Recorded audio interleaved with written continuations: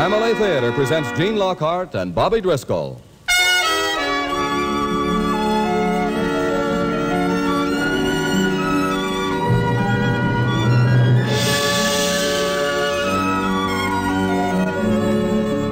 From Hollywood, the Mutual Network, in cooperation with Family Theater, presents Fair Exchange, starring Bobby Driscoll. And now, here is your host, Gene Lockhart.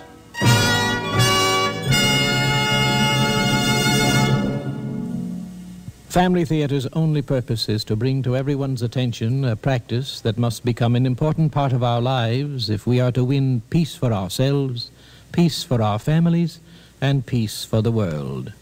Family Theater urges you to pray. Pray together as a family.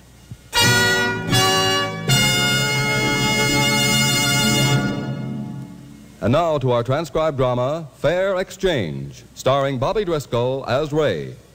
Oh,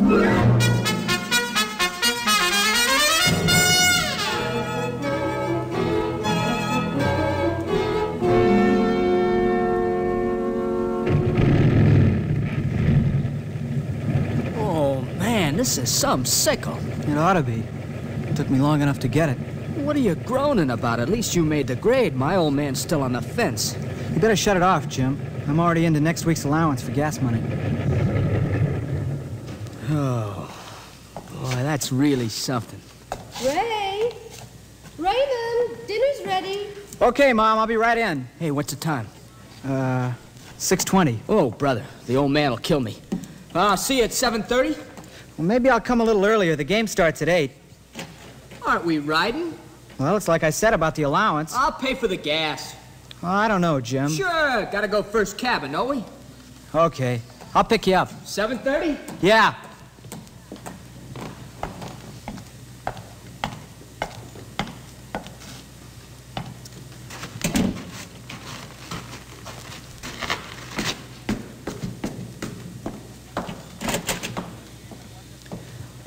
Okay if I wash up in the sink, Mom? Yes, but be sure to get that grease off your hands. Okay.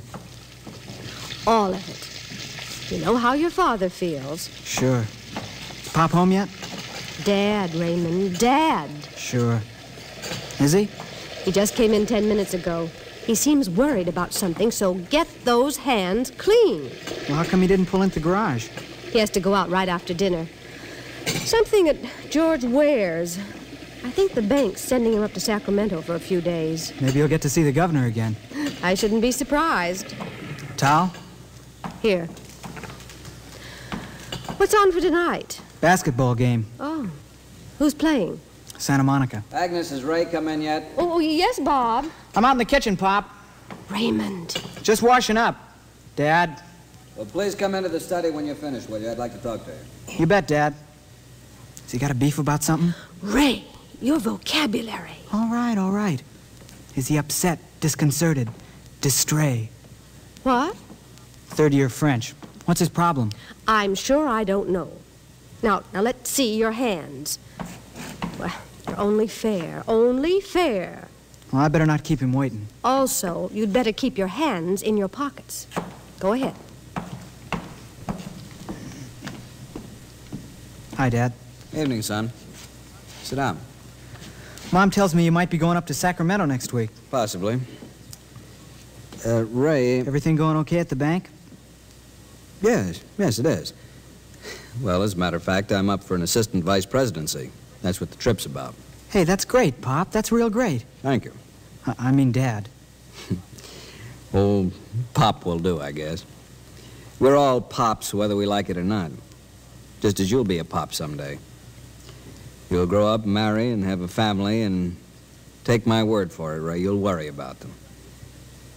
And sometimes you'll do things for their own good that they won't appreciate. Not at the time, anyway. Is anything wrong? You tell me. Take a look at this headline in tonight's paper. Two teenagers killed in motorcycle crash. I saw that headline when I stepped out of the bank tonight. I was almost afraid to read the rest of the story. Now, Dad, listen. All that flashed across my mind was that it could have been you. You and Jimmy Ware. But this guy was a nut. He was doing 70 in a 35 mile Ray. I know all that. It's always the next guy who's taking chances. I promised you I wouldn't speed. I know you promised, and I know you wouldn't consciously break that promise, but. Well, this is something that I'm just going to have to do, and if it means that you go around hating me for the next six months, all right, hate me. But at least you'll be alive to do it.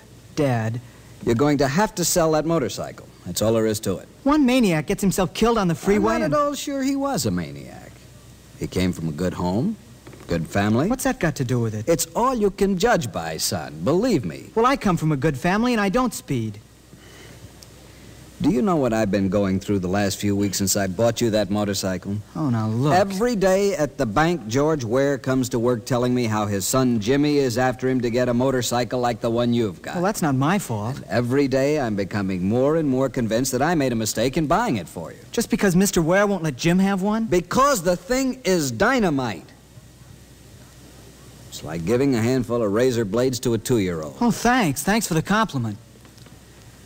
Ray, you're 18.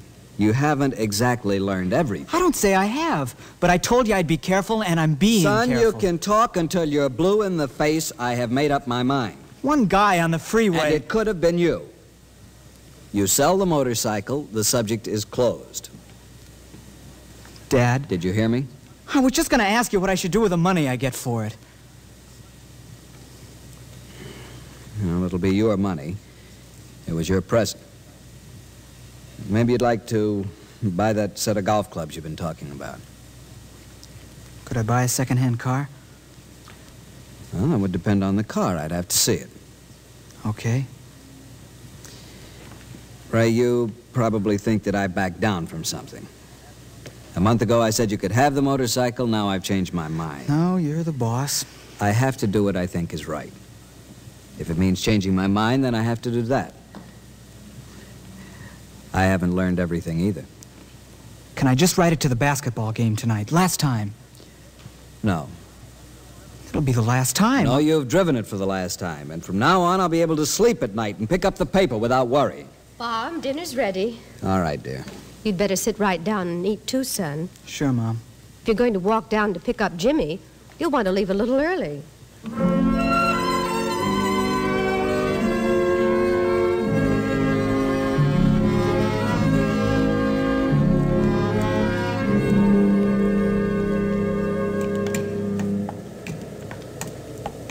Some game, huh?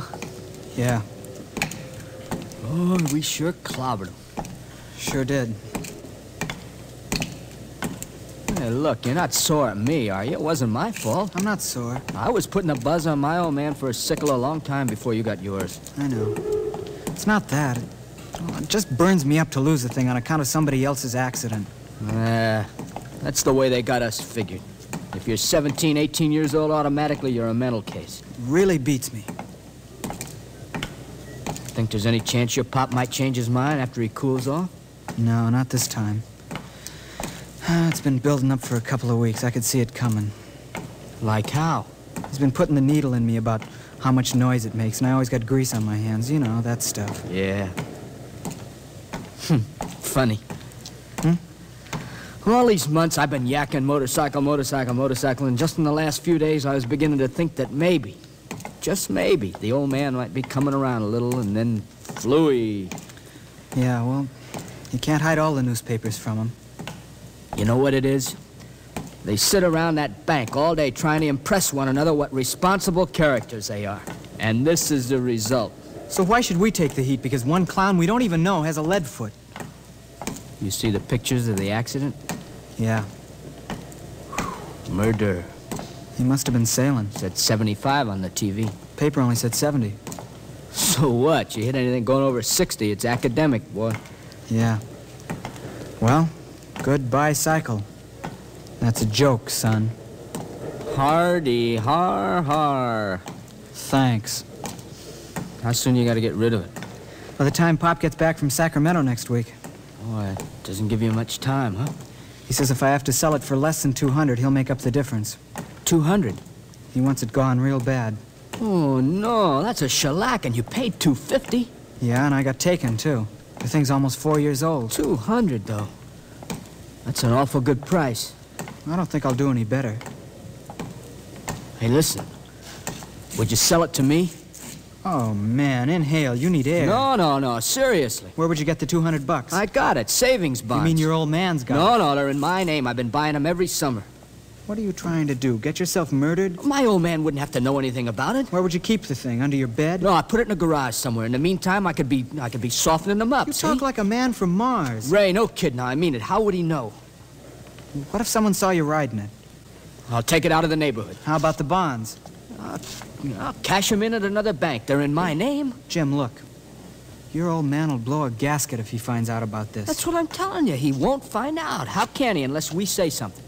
What if he asks about the bonds? He's almost forgotten I own them. Now, Ray, come on. Isn't my 200 as good as the next guy's? Isn't it?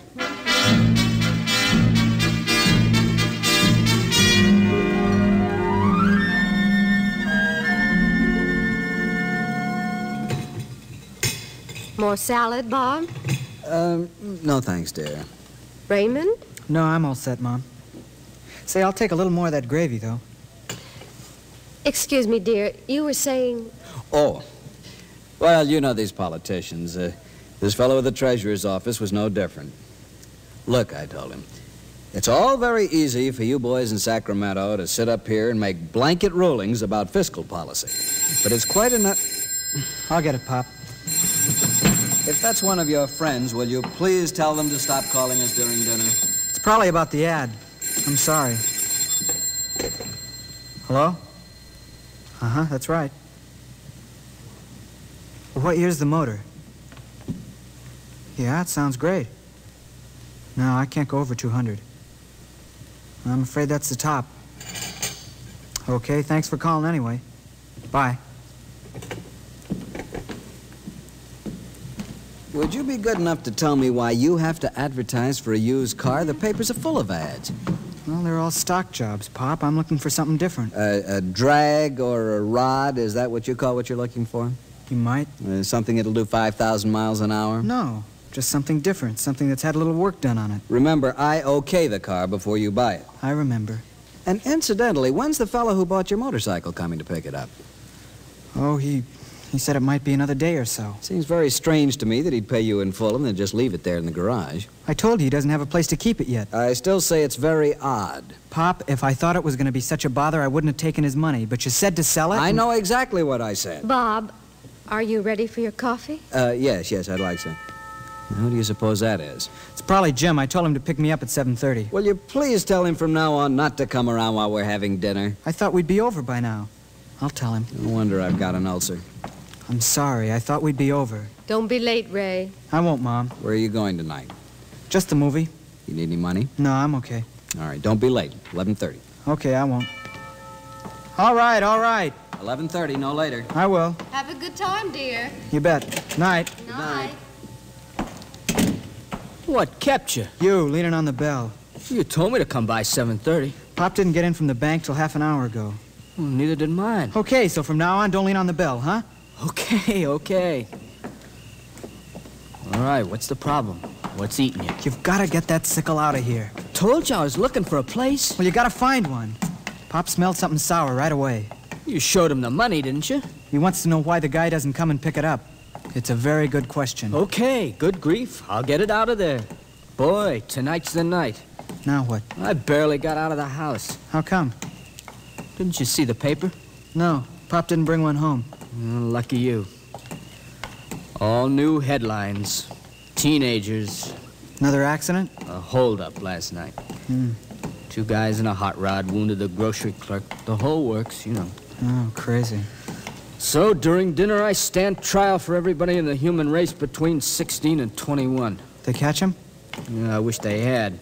Boy, guilt by chronological association. Now, what kind of a word is that?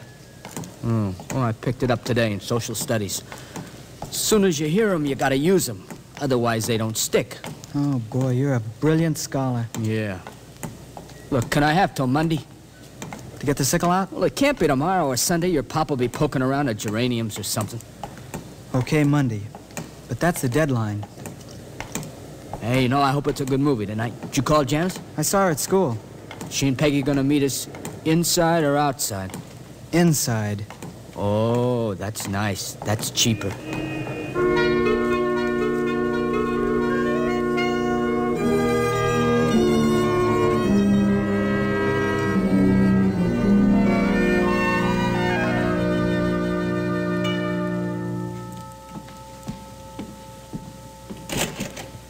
Yes?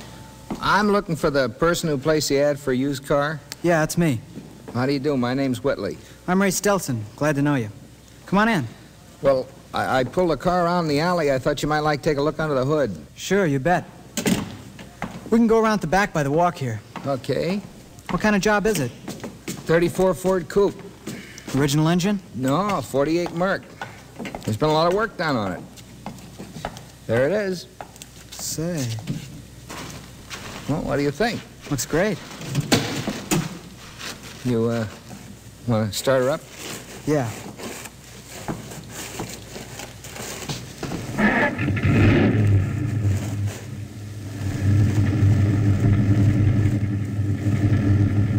Sounds like she's got a lot of juice. Take it from me, she has. What are you asking for it? 175. That's a good price. Well, I'm looking for a quick sale. I got a job up north. Starts Monday, so I got to unload this fast. It's got to be today, huh? Yeah, you see, I still owe nearly a 100 on it, the finance company. They're closed tomorrow, so if I don't pay them off today, I can't deliver the pink slip. Yeah, I see. I got another prospect who'll go 150 spot cash, but, well, I hate to let it go that cheap if I don't have to. No, I don't blame you.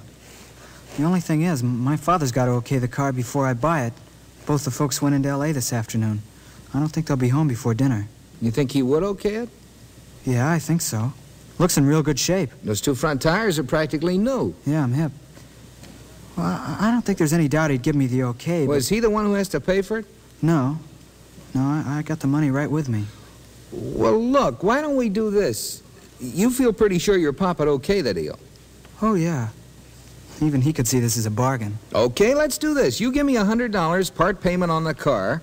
I'll give you a receipt and leave the car and the keys here with you. Then you take the $100 over and pay off the finance company. That's right, and tonight I'll come around about 6, and if your old man's agreeable, you pay the other 75. I'll sign the pink slip over to you, and we're all squared away. Yeah. Yeah, I guess that's all right. Well, I don't think there's any chance he wouldn't okay it, but... Well, if he doesn't, we just drive over to the guy who offered me 150. I'll sell him the car, pay you your 100, and then everybody's square. Yeah.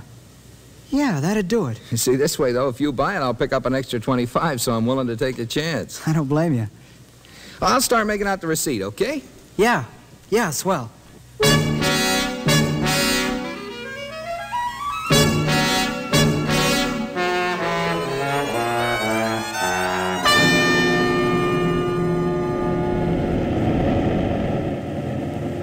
How about this little bomb, James, my boy? Ooh, chronological, simply chronological. Get how she hugs on the corners. Get this.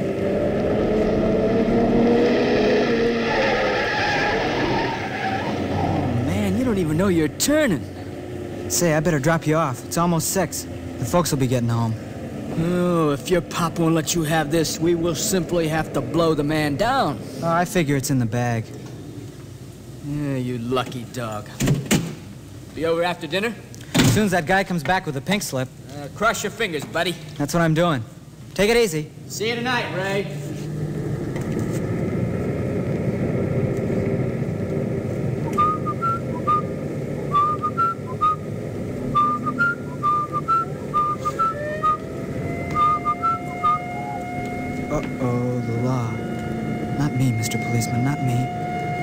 20 in a 25-mile zone. He's coming up fast. Yes, sir, Raymond boy, over to the curb and let the law go by. He's stopping right behind me. Oh, what do you think they want?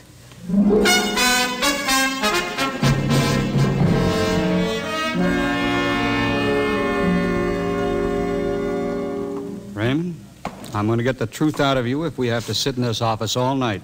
I'm telling you the truth, Lieutenant. You're in possession of a stolen car, I told you I bought it this afternoon. but you can't produce the ownership certificate. I showed you the receipt I got for the deposit. Well, This receipt doesn't mean a thing. Hasn't got an engine number on it. The signature's almost illegible. Well, he left the car and the keys.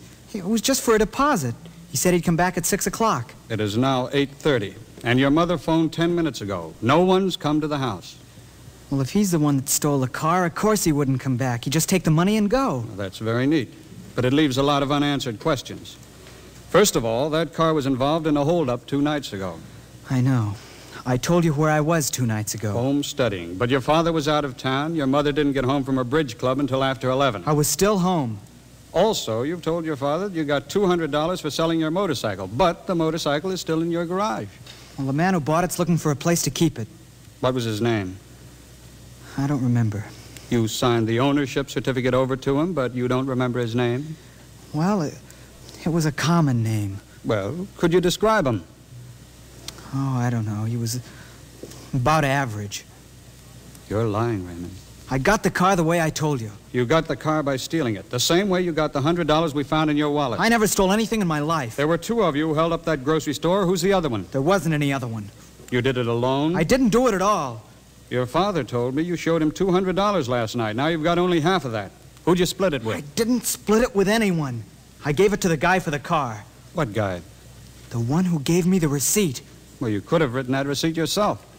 What was his name? Whitman, Whitmore, I don't know, something like that. Hmm. Doesn't look a thing like the name here. Well, that's what he told me it was. Fortuna speaking. Lieutenant, there's a Mr. Ware and his son to see you. Where? They seem to be friends of Mr. Stelson. Oh, is he still out there, too? Yes, sir. Okay, send all three of them in. Right away, Lieutenant. Hmm. Looks like we're making a little progress. This Ware kid a friend of yours? My best friend. Come in, Lieutenant, Mr. Stelson. uh, this is Mr. George Ware. A pleased to meet you. How do you do, sir? This is my son, James. Hi. Glad to know you, Jim. Uh, Mr. Ware and I are close friends and business associates, Lieutenant. He's first vice president of the Civic Bank and Trust Company. Yes, I think we may have met somewhere. Quite possibly. Lieutenant, the reason I'm here is because of something my son James told me this evening. It, it might just clear up this difficulty. Go ahead. Well, uh, Just tell the lieutenant what you told me. Don't mince around about well, I'm it. trying to. Discussed it enough with you. Okay. Yes, father. Yes, Father. Now, what is it, son? Well, it's about the motorcycle. I. I'm the one who bought it from Ray. Hi. Hi. Am I glad to see you? I'll bet. I got chicken for a while. Now, let me see if I have this right, Jim. You bought the motorcycle from Ray? Yeah, for 200 bucks. I cashed in my savings bonds. Against my express orders. Uh, just a moment, Mr. I Ware. had forbidden him to touch those bonds. If you don't mind, sir, let's deal with this problem one step at a time. As you wish. I take it then, Jim, you've got the ownership certificate for the vehicle? Yes, sir. Right here.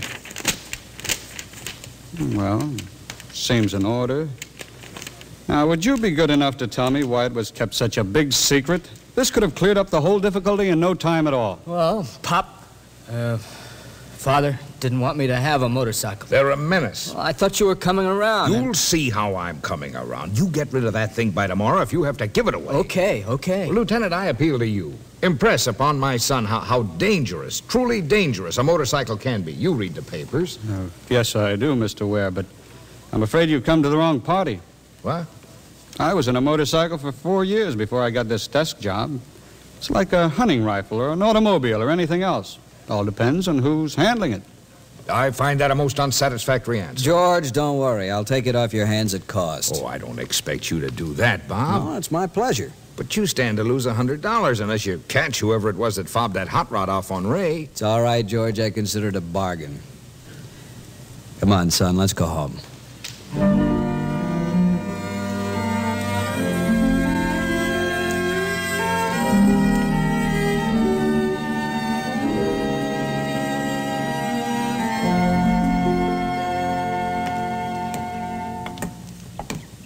About that old man of mine, huh? I gotta sell you back the motorcycle, but he's gonna buy me a skin diving outfit. What's he think? I can't drown? Yeah, they're strange. They're the strangest bunch in the world. Fathers? Yeah. And are you formal? Oh. Yeah, my old man likes to be called father. Gives him a kick.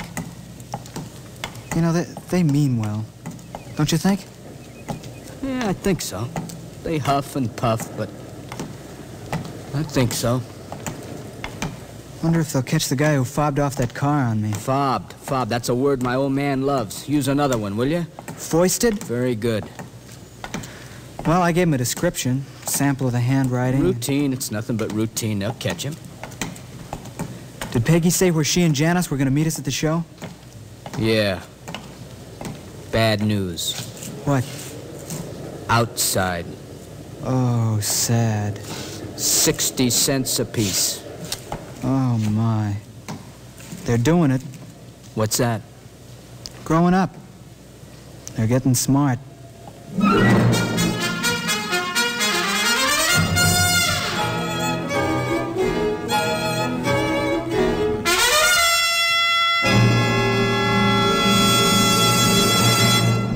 This is Gene Lockhart again.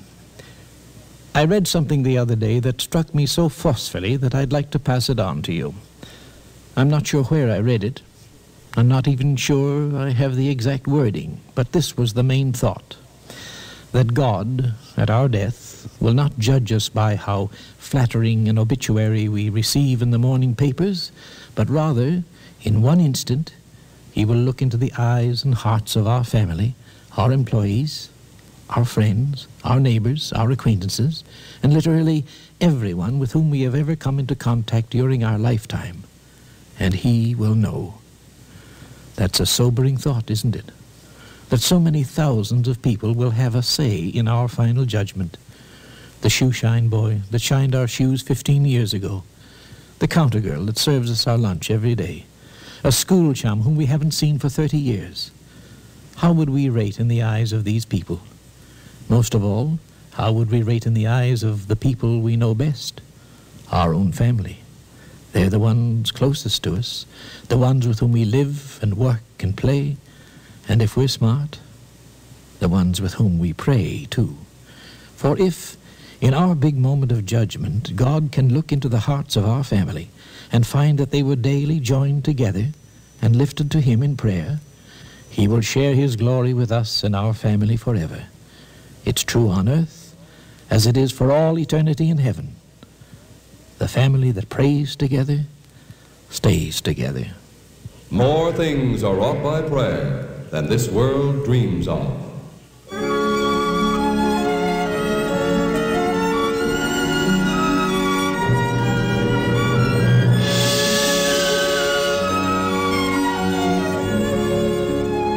From Hollywood, Family Theater has brought to you transcribed Fair Exchange, starring Bobby Driscoll. Gene Lockhart was your host. Others in our cast were Eddie Firestone Jr., Harry Bartell, Margaret Brayton, Marvin Miller, and Bob Emlin. The script was written and directed for Family Theater by John T. Kelly, with music composed and conducted by Harry Zimmerman. This series of Family Theater broadcasts is made possible by the thousands of you who feel the need for this type of program, by the Mutual Network, which has responded to this need, and by the hundreds of stars of stage, screen, and radio who give so unselfishly of their time and talent to appear on our Family Theater stage. To them and to you, our humble thanks. This is Larry Chatterton expressing the wish of Family Theater that the blessing of God may be upon you and your home, and inviting you to join us next week when Family Theater will present Deductive Reasoning, starring Betty Lynn and Jeff Hunter. Gene Evans will be your host. Join us, won't you?